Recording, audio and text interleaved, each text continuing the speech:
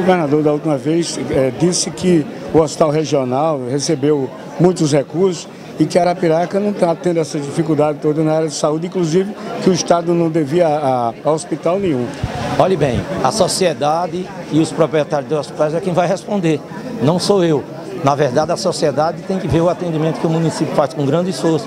Agora, chegou 5 milhões para o hospital, via prefeitura, mas foi dinheiro de emendas parlamentares. Foi 4 milhões do deputado Arthur Lira e 1 milhão do deputado Paulão. Como chegou mais 5 milhões do, do deputado Max para a Prefeitura de Arapiraca. Como chegou 600 mil da deputada Tereza Nelma para Pechalose.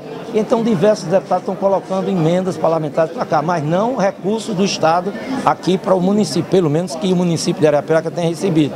Então, quem responde é a sociedade, quem responde é os proprietários de hospital e quem responde, na verdade, o povo de Arapiraca precisa de mais um hospital. Está na hora do governador construir um hospital na cidade de Arapiraca para atender meio milhão de habitantes. Depois que o senhor fez esse reclame, o governador voltou atrás até das palavras dele, dizendo que vai criar um projeto para construir um grande hospital em Arapiraca. Será que é a sua cobrança? Não sei se é a minha cobrança, mas eu sempre disse que ele é governador do estado, eu sou prefeito de Arapiraca. Tudo que ele fizer pela cidade de Arapiraca, Valões, eu agradecerei. É um asfalto, é uma rua, é um hospital.